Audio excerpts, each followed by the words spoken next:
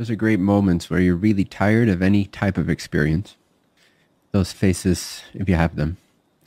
And sometimes they can occur when you're suffering, no matter where you look or what you do. Then it's more pronounced. Sounds like, well, if I can't fix this, if I can't change my state right now, then I'm I'm really tired of all kinds of experience. I'm tired of experience itself, like any experience. So therefore, experience itself. And then something again can open up because you're playing with that threshold where just like you can ignore an aspect of your experience, you can also ignore, doesn't mean it's not registered on some level, but you can ignore what is registered, meaning not indulge anything and stay really stationary, for lack of a better word, really undistracted, unfold. And then it's kind of like you're stepping into a stable nothingness. But again, if you sort of stay with that, stay with that, it's like a new dimension that is different, can begin to sort of knock on your back door, and open up the sense of indescribable, vast reality, yet not an experience. And there's kind of three sort of nothingnesses, um, unless you want to call the absolute nothingness, which I typically don't. But there's just the concept of nothingness, the thought of nothingness, just the idea of a blankness, which can lead into sort of a blankness state, still within the mind. But it's it's basically just a concept in the mind. It's a thought form.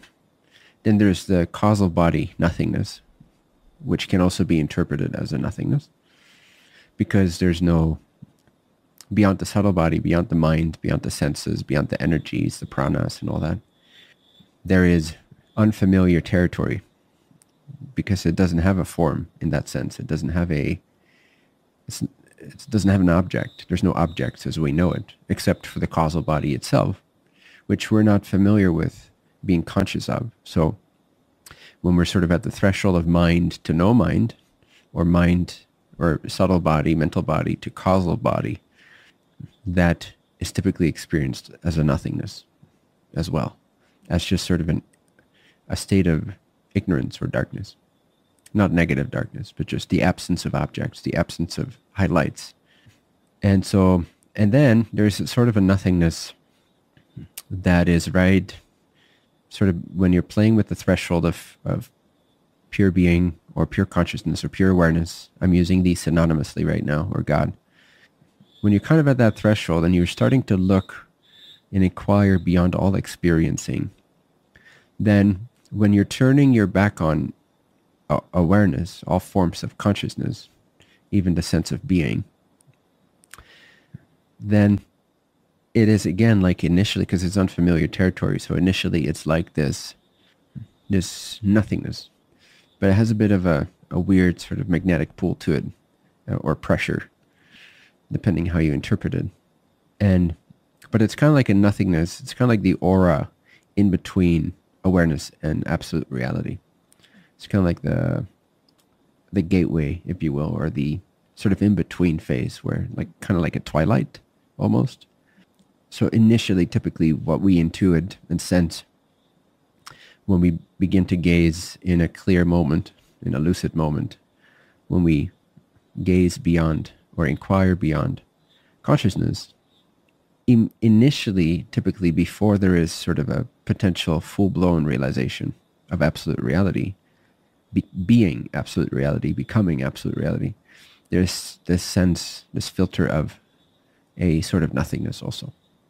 So there's the concept, there's the causal body, which can be interpreted as nothingness. And then there is right at the threshold between awareness and the absolute reality, before reality is really realized, before the lights, in a sense, go on. There's no lights, but before awareness really is absorbed into absolute infinity, there is this sort of yet another nothingness threshold, at least in my experience, I have found. That's why I'm always a little skeptical when people call the absolute nothingness. Maybe they've had sort of a glimpse or they've played at that threshold, but it can be causal body. In the most uneducated cases, or not self-aware cases, it can even be just the concept of a blank state of mind. Like the concept of nothingness, you know, when you meditate on that, eventually it will take you into the causal body if there's enough concentration on the concept. But initially it's just like oh yeah, I'm not having any thoughts or a blank nothing state of mind. Um, and if people are sort of advanced, then they can come to the conclusion that they've transcended awareness and that they've really glimpsed the other side. But then typically they call it nothingness.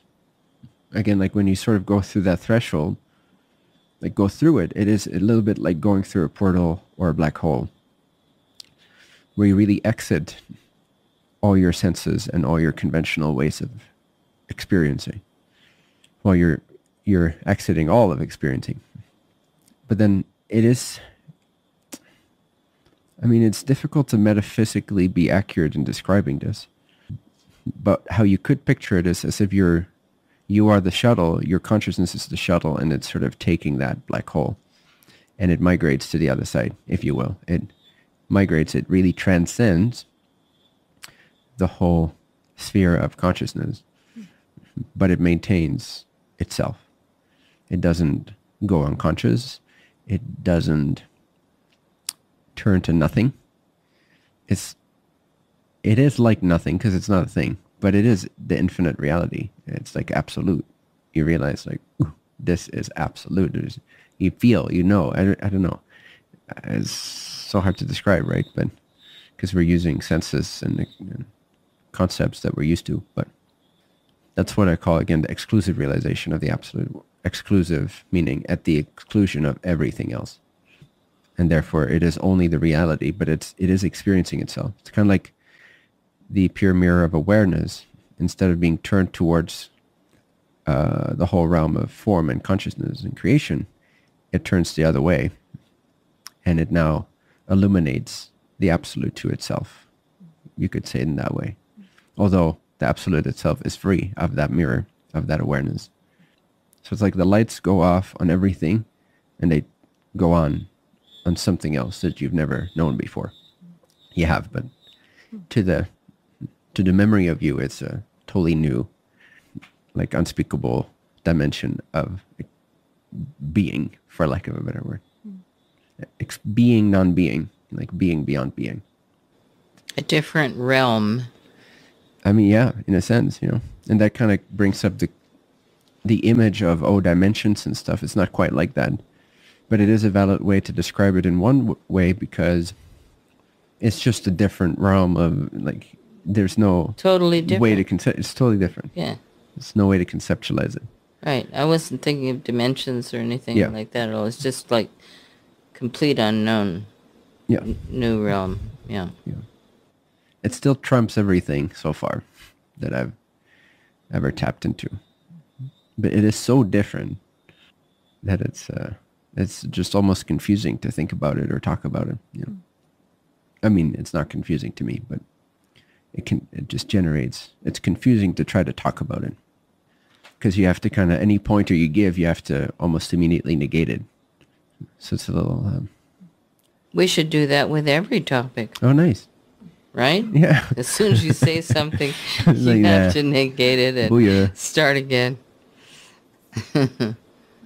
get some accuracy going. Yeah, penetrated the absolute. Booyah.